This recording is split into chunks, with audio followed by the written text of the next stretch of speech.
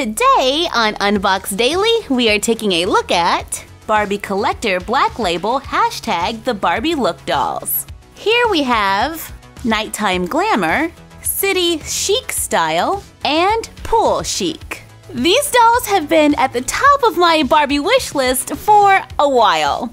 I found them at Barnes & Noble. They have a suggested retail price of $29.95, but on Saturday at my Barnes & Noble, they were having a member appreciation day, so everything was 20% off. Yeah! I am so excited for all of these girls because, for one, I love this face mold. Gorgeous! And this is an articulated, curvy Barbie. It's not made to move, but hey, I'll take it. On the back of the box, it says hashtag the Barbie look. She's your most fashionable friend, always in the know. Both endlessly inspired and inspiring. Hashtag the Barbie Look Barbie doll makes fashion fun, taking cues from international runways and street style looks on every corner. She couples her enviable wardrobe with an active imagination to create personal style that begs to be photographed. This curvy hashtag the Barbie Look Barbie doll is ready for a dazzling date night. Wearing a stunning metallic teal and gold mini dress, complete with shimmering hoop earrings and gold platform heels. This hashtag, the Barbie Look Barbie doll, is the epitome of casual cool in her cozy cowl neck sweater dress, complete with charcoal thigh high socks and a pair of classic brown boots. This Barbie doll is ready for a glamorous poolside party, wearing a sweeping floor length aqua blue halter dress with gold detail. Noteworthy accessories complement her chic outfit, a style icon for the digital age. Follow her everyday adventures with at Barbie Style.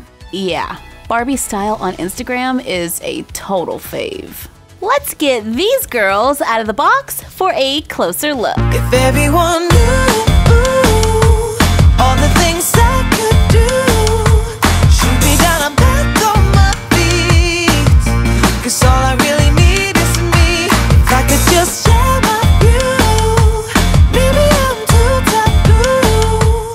Out of the box, each doll comes with a certificate of authenticity, a doll stand. These two come with a doll stand that holds the doll at the waist, and the curvy Barbie has a different one.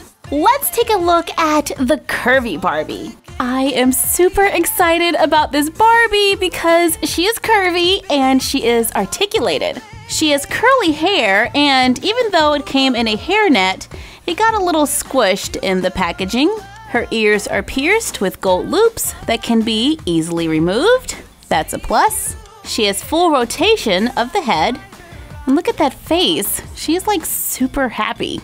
Yeah, because I have elbows.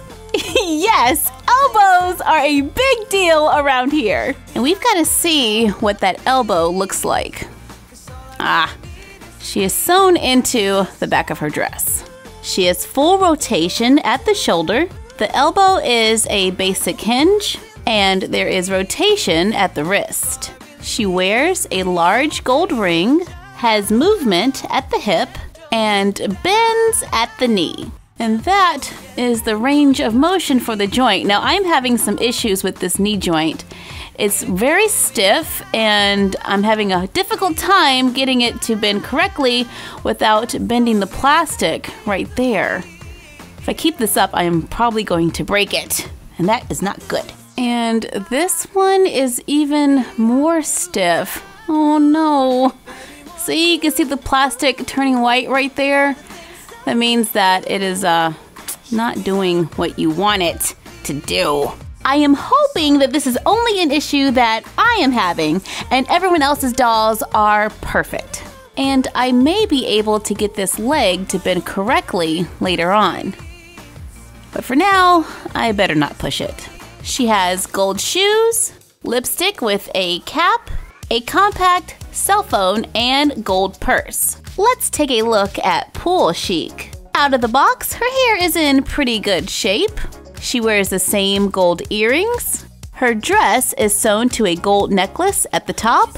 It goes all the way down to the floor with a slit on the side. It has a sheer overlay and is low cut in the back. She wears gold shoes, has lipstick, a cell phone, a white compact mirror, and a purse that can open. She has movement at the head, shoulder, elbow, wrist. She wears a gold cuff bracelet with painted nails, has movement at the hip, and a made to move knee. Honestly, I would have liked for the whole doll to be made to move. And her too. Sorry, I just love the made to move Barbie body. And I just want every doll to come that way, like automatically. City Chic has a fabulous casual look. She is rocking a gray sweater dress. Her hair has a light wave and it is very nice out of the box. She has silver loop earrings, a brown faux leather bag, which you can actually put stuff in. Yeah, this is my favorite purse so far. Her charcoal gray socks are pretty much leg warmers. Since her dress is so short, they gave her undergarments. She wears tall, lace up brown boots, and I believe she has the same articulation as Pool Chic. Yep, this knee is definitely made to move. And wait a minute. Why is this one not bending? Okay, there's something there. Gotta find out what that is. And just found out that her socks are taped on. Oh, it's just a piece of cardboard around her knee. After removing that, everything works just like it should. She has pretty cool accessories a cup of coffee, some sunglasses, a book, a pencil, and a cell phone. I love how every doll comes with a cell phone. And the book is really cute. It doesn't open, but it's adorable. I feel a little craft inspiration! Craft time! We are going to remake her book using some white computer paper, brown paper that looks like leather, and a glue stick. Using a ruler, draw a line down the white paper, cut on the line drawn to make a 1 inch thick strip of paper. Draw a line at 1.5 inches, cut on the line drawn, repeat to make more, fold them in half, stack and glue them together using a glue stick so that all of the folds are on the same side and the other side can open. Mark and cut a 1 inch strip of the leather paper, glue it onto the first page, then wrap it around, glue it to the back page, fold it over again, trim off the excess so it looks like an envelope, cut a thin strip of the leather paper, glue it underneath, cut two little lines on the flap, weave the thin strip between them, glue it in place, make a gold dot for a little extra detail, and you can make little impressions going around the edge to look like stitching. Wrap the thin strip around, tucking the end under, trim off the excess to make your own little book. Take a toothpick and I'm going to cut the end just before the last notch. Then go up about an inch and cut it. File the end to a slight point. Paint it to look like a pencil. It looks pretty close. And now you can get the Barbie look.